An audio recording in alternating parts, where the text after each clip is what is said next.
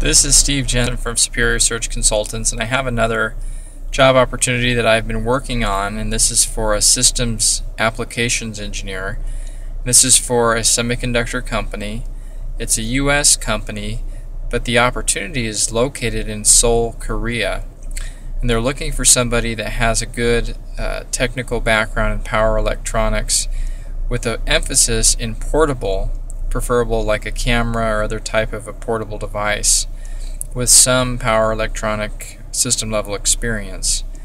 Uh, this is uh, somebody that would be very hands on technically, but had some good uh, presentation skills.